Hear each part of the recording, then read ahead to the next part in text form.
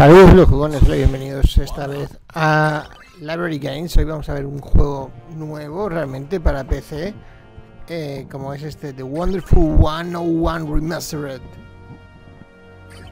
Vamos a darle.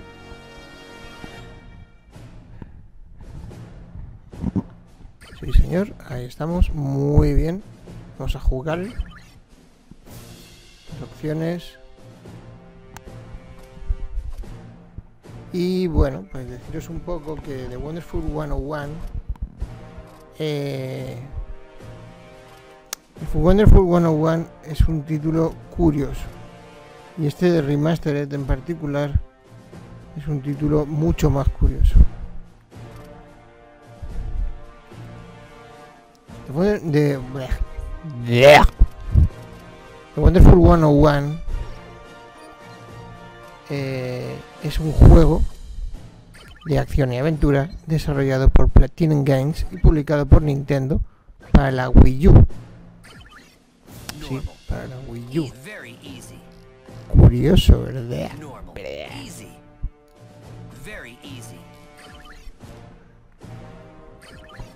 El juego fue dirigido por Hideki Kamiya y producido por Hatsushi Inada. Ambos también trabajaron juntos en la serie de Beautiful Joe y Okami. Gran juego Okami. Fue lanzado el en agosto del 2013 en todas las regiones principales, excepto en Norteamérica, donde fue lanzado el mes siguiente. De Wonderful 101, eh, los luchadores controlan a una horda de superhéroes desde un punto de vista isométrico y pueden convertirlos en varios objetos llamados Unite Morphs. A medida que avanzan los niveles, los jugadores deben explorar cada etapa para encontrar a ciudadanos indefensos y reclutarlos para unirse a su ejército de héroes. Cuanto más héroes se reúnan, mayores serán los poderes morfológicos especiales. A costa de agotar su medidor de batería, los jugadores pueden utilizar los formularios, los Unite Forms, para derrotar a sus enemigos, resolver acertijos o atravesar el entorno. ¡Encana!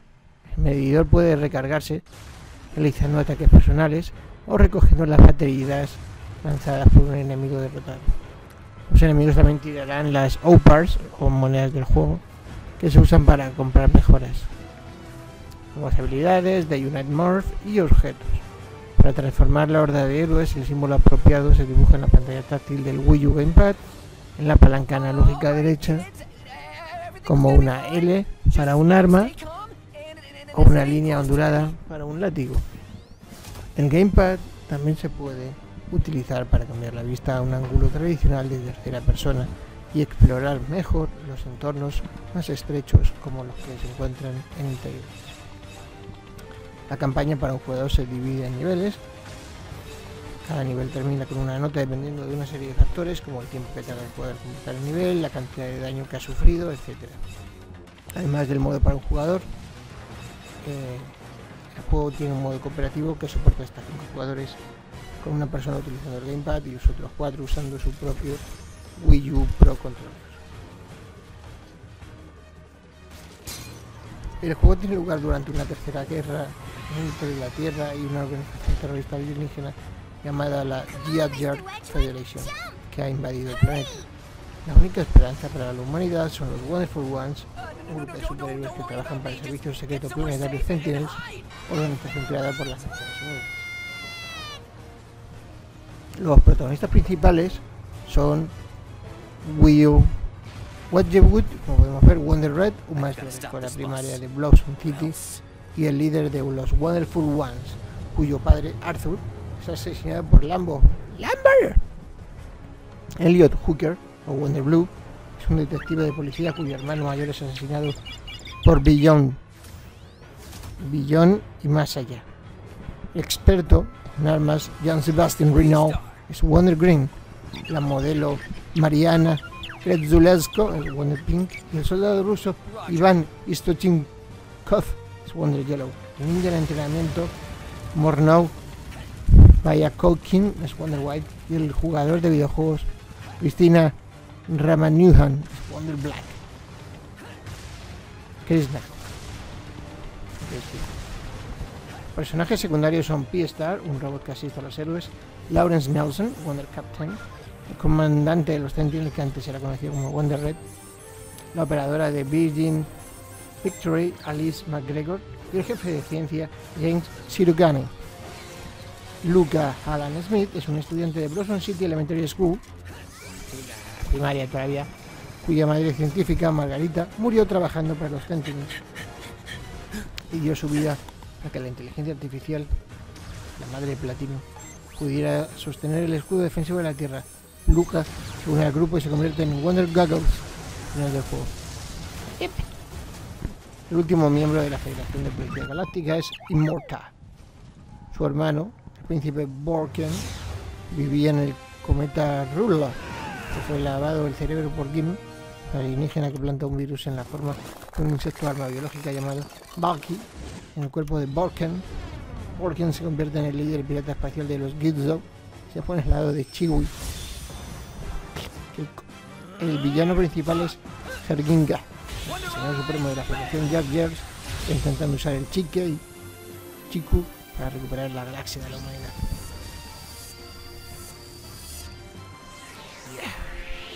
Wonder Red. Y sí, este es Wonder Red. La historia comienza, como podéis haber visto, como un autobús escolar lleno de niños atacados por invasores alienígenas conocidos como los G. York. El maestro, el señor Westwood, se transforma en el héroe, superhéroe Wonder Red y se une a los otros superhéroes para destruir a los alienígenas con los poderes de Unite Mars. Un estudiante, sin embargo, Lucas, parece desilusionado y expresa su odio tanto por los héroes como por los extraterrestres. Los héroes se reúnen en su buque insignia para planificar sus defensas. La Tierra está protegida de la invasión por un escudo, alimentado por cinco superreactores. Los héroes deben viajar alrededor del mundo para proteger estos reactores y destruir a los alienígenas que se deslizan a través del escudo. Mientras viajan, se encuentran con el profesor Sirogane, quien les explica que una vez que los reactores estén a salvo, utilizarán un cañón en órbita, el cometa Sirogane, para destruir al resto de los alienígenas. En el camino, Wonder Red lucha por liderar a su equipo, especialmente Wonder Blue, cuyo hermano fue asesinado por uno de los líderes alienígenas. El deseo de venganza de Blue causa varios problemas hasta que Red lo convence de que coopere. ¡Cooperas! ¿Operas o, o manzanas con el equipo? Además, Luca se esconde en el barco y los héroes se ven obligados a traerlo para mantenerlo a. Los héroes también luchan repetidamente contra el pirata espacial Prince Worken y su primer compañero Chiwi. Worken está buscando a los luchadores más fuertes de la galaxia para que pueda tener la fuerza para vengarse de los Jar Jars. Worken lucha con los ataques del Unite More, similares a los de los héroes, y sirve para frustrar a Wonder Red en sus encuentros. Con la ayuda de la hermana de Worken, Morta, los héroes lo derrotan y Wonder Red convence a Worken de que su deseo de venganza lo ha convertido en un malvado. ¡Malvada! En el clímax de la historia, Luca traiciona a los héroes y se une a los extraterrestres, revelando que su colgante es la llave que controla los superhéroes y... Joder, con el crío, ¿no? Madre mía. Con Luca. My name is Luca. Al iPhone de Second Floor, Luca explica que su madre murió trabajando en el escudo que protege la Tierra y que él quiere que los alienígenas destruyan la Tierra para vengarse por la pérdida de su madre. ¿Pero qué hace Luca?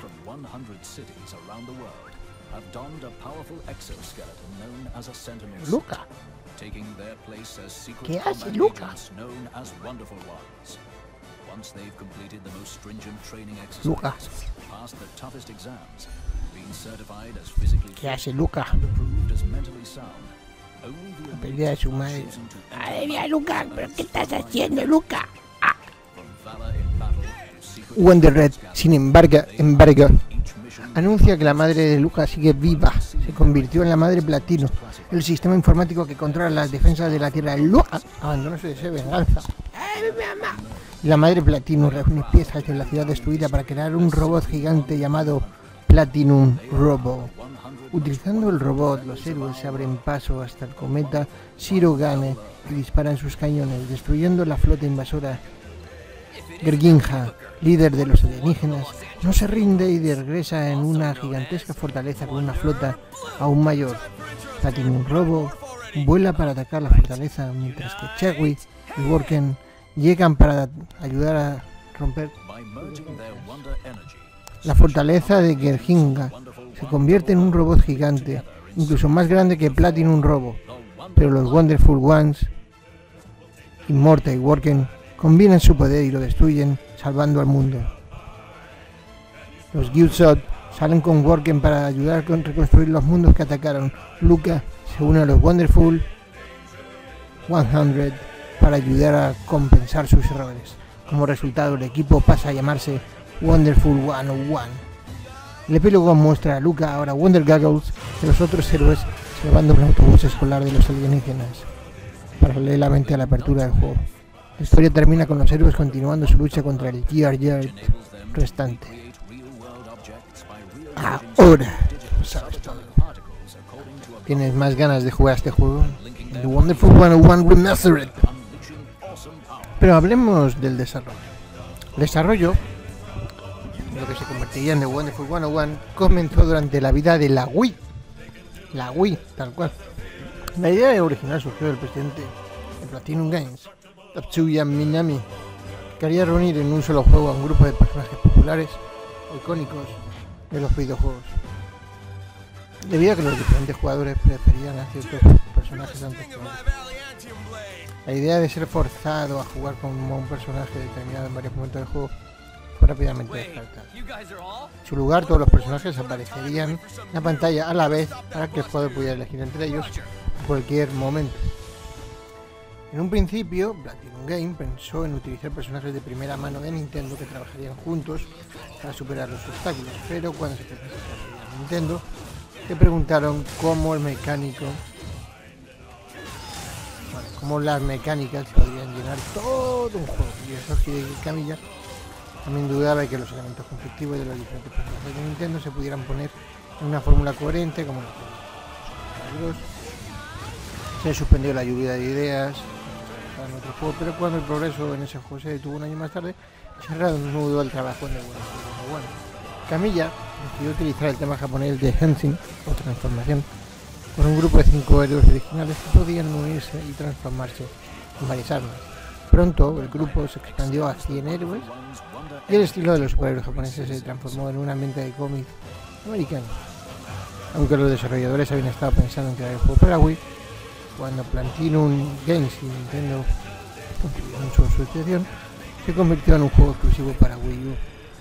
Los desarrolladores querían utilizar las características únicas de la consola de forma efectiva, así que se les ocurrió dibujar en el Gamepad como una forma de activar los Unite Morphs en una entrevista realizada en mayo de 2018, Camilla declaró que el equipo tenía algunas ideas para un posible cambio a,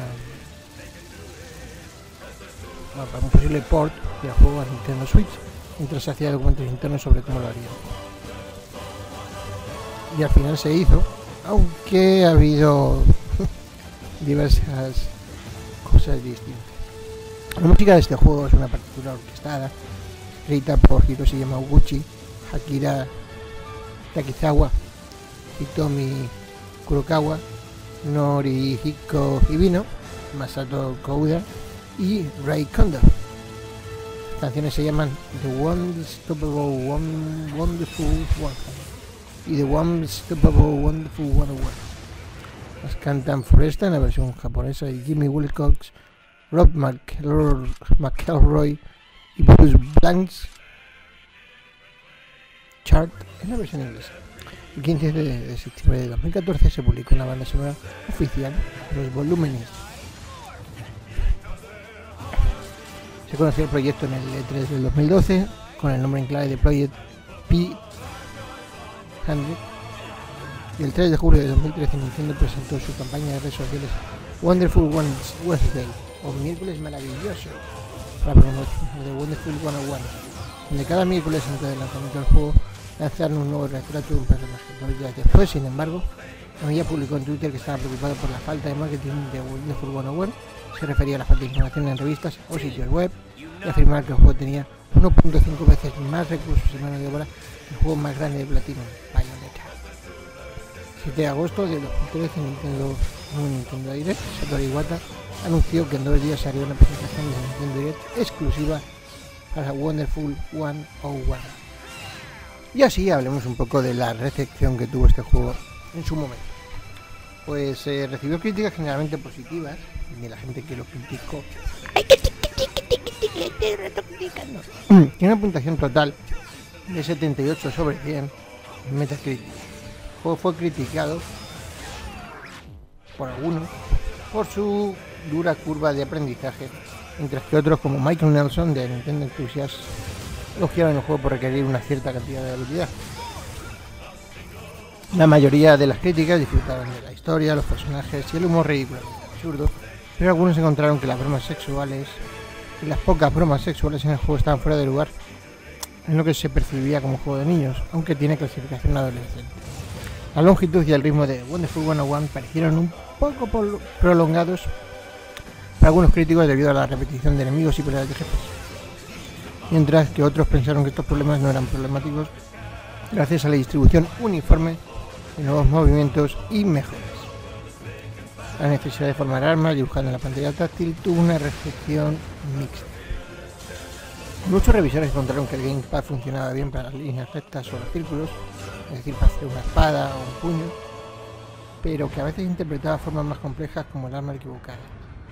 Otros pensaban que dibujar formas simples en el gamepad mientras se usa el palo analógico derecho, para otros era más fiable o que el gamepad funcionaba perfectamente y era simplemente cuestión de práctica, en fin. La cámara fue criticada por estar demasiado alejada para seguir la pista de todos los personajes durante la batalla, pero también por estar demasiado cerca para ver al enemigo fuera de vista de vez en cuando. Los críticos estuvieron de acuerdo en que el juego estaba a la altura de la alta dificultad de la marca Platinum Games y algunos citaron los controles y la cámara como factores contribuyentes. Casi todos los críticos se mostraron satisfechos con los usos creativos de la segunda pantalla del Gamepad, sin embargo algunos pensaron que navegar dentro de un edificio usando el giroscopio del controlador era todo. Los críticos pensaron que el modo multijugador era divertido, pero a menudo perdían la vista de su propio grupo de personajes. La mayoría estuvo de acuerdo en que sería en que se sentía pegado. El estilo de dibujos animados y los efectos llamativos de Wonderful 101 la batalla fueron elogiados por los críticos, pero los críticos también pensaron que los modelos de personajes parecían poco polémicos si la vista se ampliaba. Los escenarios y jefes finales fueron igualmente bien recibidos, al igual que la voz y la banda sonora. ¡Este puño! Al final el juego, bueno, pues tuvo unas ventas flojas. Envió 30.000 copias para el lanzamiento del juego en Japón y vendió unas 5.258. Y alcanzó el puesto 22 en la primera semana de ventas en el Reino Unido. Y todo el mundo decía que qué pasaba. Que el estaba mal. ¡Qué mierda!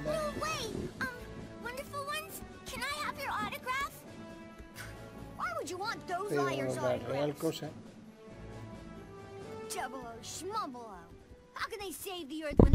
la real, real cosa. era que, bueno, no sé, no era el momento. Aquí tenéis a Luja, Alan Smith, Luquita para los apegos. Esto que estáis viendo ahora mismo es ni más ni menos que la remasterización del juego que salió para Wii U en su momento, que ahora sale en PlayStation en Steam, como podéis ver. Y sí, también en Nintendo Switch.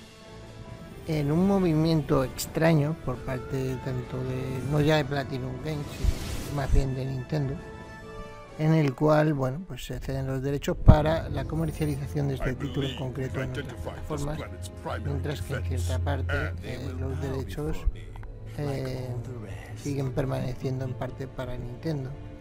Con lo cual acabarán eh, teniendo incluso beneficios por parte de las ventas de PC y de PlayStation para este título. Como podéis ver, se, puede ver eh, la remasterización que han hecho. El título llegará a las tiendas en su versión digital este mismo mayo y más adelante a finales de junio en versión física para PlayStation y Nintendo Switch. Eh, en mi caso fui uno de los eh, bueno, de los que colaboraron con el Kickstarter que se hizo en una cosa de un mes aproximadamente. Fue un auténtico éxito. Eh, por suerte, Platinum Games ha ido informando paulatinamente cada poco tiempo de los avances eh, del Kickstarter. Eh, se ha retrasado obviamente la versión física pues por las circunstancias pandémicas que tenemos en este 2020 en todo el planeta. Y bueno, pues el juego se deja jugar muy bien, es muy bonito, muy, muy bonito. Esperando la versión física que llegue a finales de junio. Oye, y poco más, sed buenos, jugad mucho y aprended jugando aquí en Library Gamer, donde el juego es conocimiento a juegos tan interesantes y curiosos como este The Wonderful 101 Remastered que por fin eh, sale en otras plataformas más allá de la Nintendo Wii U. Hasta pronto y los jugones.